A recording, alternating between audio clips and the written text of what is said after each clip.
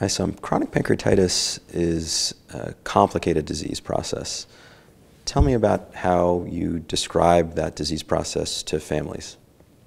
Indeed, it is a complex disease process, and we don't um, really understand fully how it happens, but it is thought mostly to happen after a child had repeated attacks that could lead to some sort of irreversible damage to the pancreas, or if you may call it scarring, um, which is the, the medical term is fibrosis. So when the inflammation happens repeatedly, then the organ cannot recover and leaves that kind of um, chronic changes that make the children have a certain type of pain. It is more of a chronic pain, if I may say.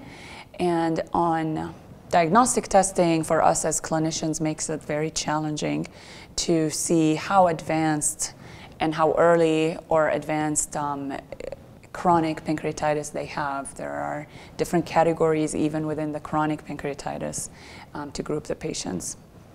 Can you predict which patients that have had an acute episode will then head down to chronic pancreatitis? This is the future of what we're doing work-wise, where we are recognizing now that acute pancreatitis not only could happen in kids, um, but also could lead to chronic pancreatitis. So there are multiple studies ongoing to help really find out who are at highest risk to have recurrent pancreatitis and who are at higher risk to have chronic pancreatitis with its own um, kind of clinical um, syndromes with it because some chronic pancreatitis would lead to lose exocrine function, which is the digestive enzymes capability of the pancreas to make those enzymes. And some chronic pancreatitis cases might affect the um, hormonal aspects of what the pancreas does in terms of making enough insulin and help prevent diabetes. And how fast does this occur? How fast does this transition from acute pancreatitis to chronic pancreatitis occur?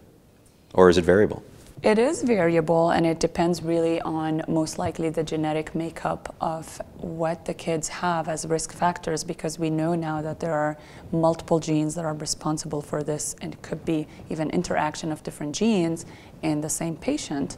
So the future for all the researchers in science is to find out what gene makeup does the patient have or what combinations of genes could lead to different rates of progression to chronic pancreatitis.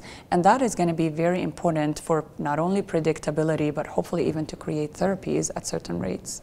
Uh, I think it's really important to maintain hope with these families, to reassure them that there is work being done uh, because it is such a complex disease process and really um, leads to uh, long-term health issues.